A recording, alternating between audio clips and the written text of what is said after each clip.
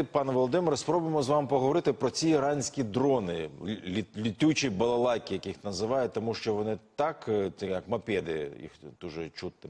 Але тим не менш, великої шкоди вони нам завдають. Чому так? Е, ну тому що це бойова одиниця, яка воює на стороні противника. До речі, їх орлани російські вони теж е, як дизельні генератори не торохтять, але все одно вони е, дуже точно коригували і коригують. І так само ці дрони камікадзе вони е, якраз націлені на те, щоб е, високоточно і масово завдавати шкоди нашим збройним силам. Слухайте, їх що настільки багато дійсно росіяни закупили? Ну я не мені невідомо наскільки багато, але ви ж розумієте абсурд е, цієї рефії, що вона все робить е, по прикладу Сталіна, по прикладу радянського союзу.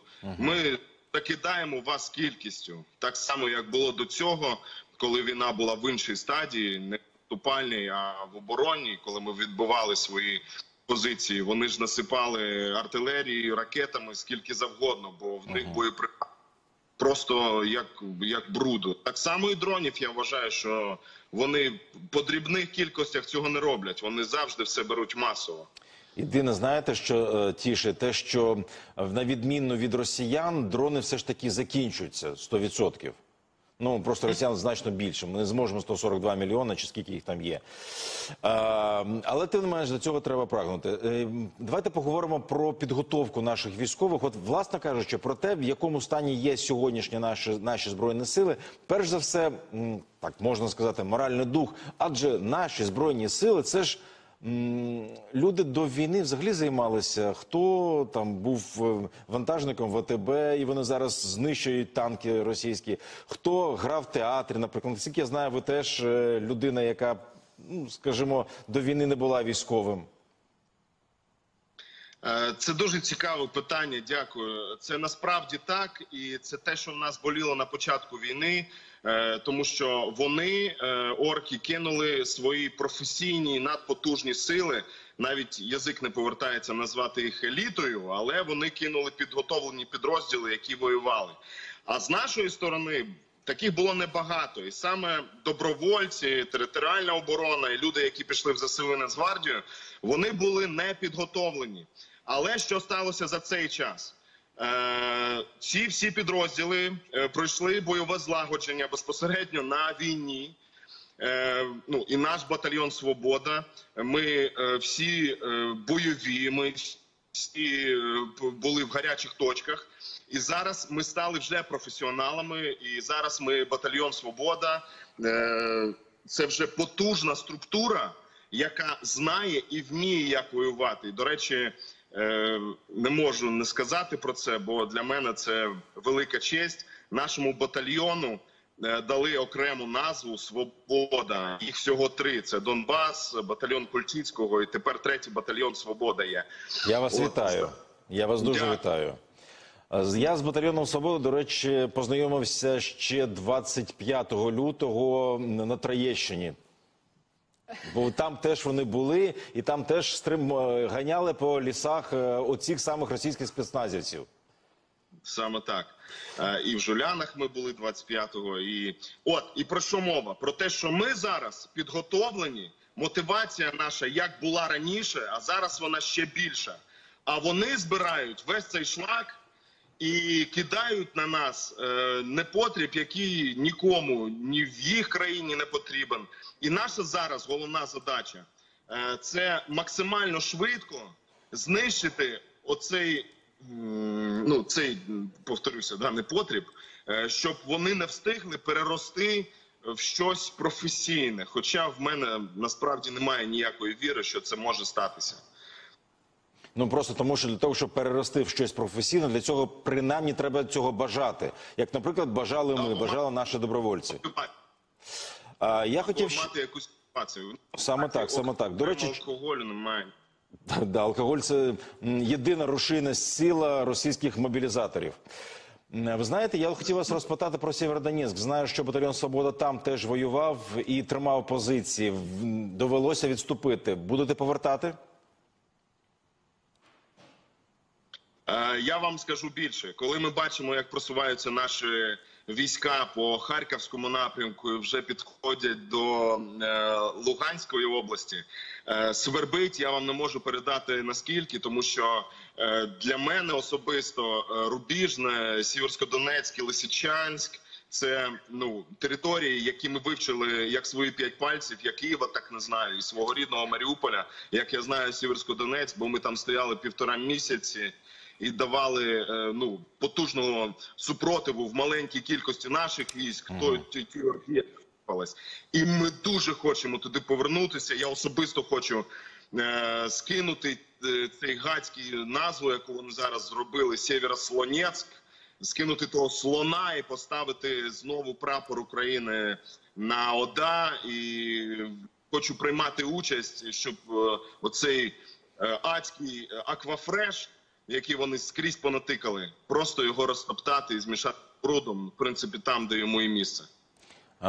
Ви напевно точно знаєте, і самі, врешті-решт, з цього приводу мали думку, коли почули про те, що Путін оголошує мобілізацію, часткову мобілізацію 21 вересня. Яка була реакція в військах? Що ви в той момент подумали?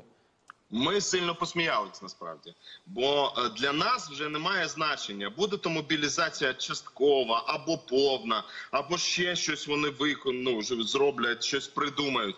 Для нас немає жодного значення, бо ми все одно прийшли сюди звільнити наші території, і все одно ми знаходимося в стадії війни. І для нас немає значення, скільки їх буде. Їх було багато постійно. Їх в Київській області було багато, на сході їх багато, на Херсонщині, Харківщині, в Криму їх багато. Ми до цього звикли.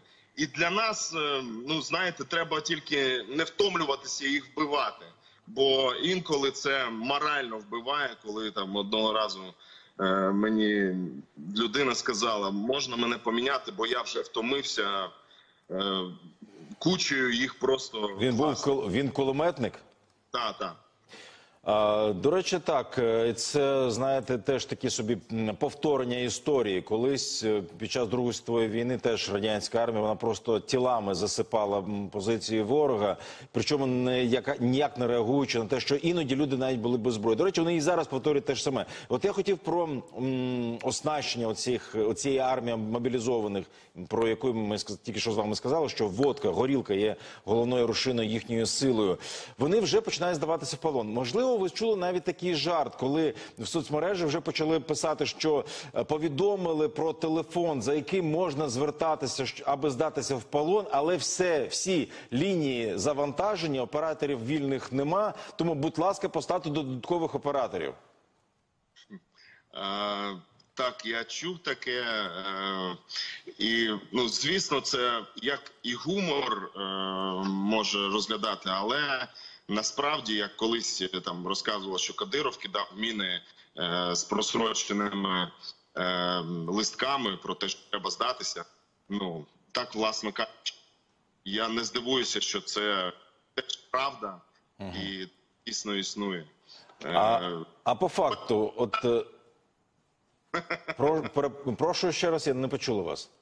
Е, Кажу, е, значить, треба зробити так, щоб було набагато більше операторів, щоб вони встигли здаватися, е, готовили білі прапори з простирадну і йшли здаватися. Бо в них ну реально об'єктивно, окрім артилерії, авіації і от тих танків, які вони мали списати.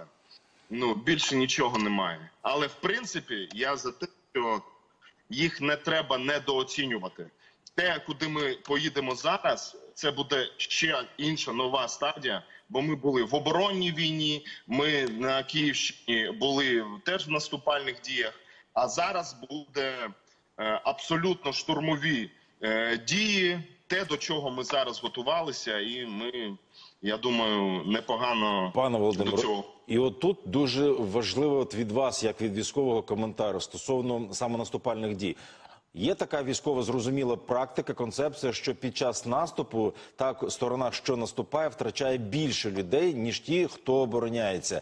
Але ми розуміємо, що українські збройні сили вони притримуються доктрини берегти кожне життя, кожного солдата. То як буде тоді відбуватися ці наступальні дії? Щоб їх вмирало більше ніж нас. Е, так є, так було, і я впевнений, що так і буде. На жаль, як е, пише книжка, і е, як каже досвід е, військових людей, що насправді при штурмі гине більше через те, що ну ти не знаєш, куди заходиш на позиції, які заздалегідь підготовлені. Ну ви самі розумієте, що це додаткова небезпека, бо інженерка їх працює, і вона на досі непоганому рівні. Е, Їх е, е, люди, які роблять абсолютно е, мінно-вибухові пристрої, їх багато насправді. Але дійсно наша задача головна це зберегти особовий склад. Бо, як я завжди казав, каже мій комбат апостол, що їх лайна, а ми маленькі одні, і кожен хлопець, який йде воювати, де він не знаходився в нашому батальйоні свободи, в ЗСУ, Нацгвардії, Добробат, ТРО, немає значення. Ми титульники, ми ті, хто насправді продовжує е, справу наших пращурів. Ми боремося за свою свободу. Ми боремося за незалежність нашої країни. Ми боремося за нашу мову, і в нас надвелика задача. І тому наша місія це зберегти якомога більше людей, потім будуть відбудовувати нашу рідну Україну. Дуже за це вам дякуємо. Наостанок, будь ласка, на, за вашими відчуттями, коли фронт ворога посипеться? Е, насправді декілька е, тижнів тому в мене була така думка, що це має або статися, коли здохне ця путлерська мразота з усіма війник, або буде переворот внутрішній, і його самі знімуть, або він нарешті нашими всіма е, прокльонами піде на той світ. І там відбудеться переворот в Росії, або тоді, коли ми вступимо в НАТО. Але в НАТО ми не раніше липня, як нам сказали. Тому сподіватися тільки на підтримку а, ну, НАТО і наших е, союзників. От і чекати, коли все ж таки е, відбудеться саме там переворот, коли як в Дагестані жінки встануть і просто зроблять такий бунт, що не будуть відпускати своїх мужиків на війну. Е, Ну я не впевнений в тому, що в цієї біомаси рабів є якась свідомість, і вони щось зможуть протидіяти як народ е, своїй владі. Але в це чудо безумовно віримо всі ми. Так що сподіваємося на це. Дякуємо вам, дуже дякуємо. Володимир Ращук, військовий збройних сил України та боєць батальйону Свобода зараз був з нами на прямому зв'язку.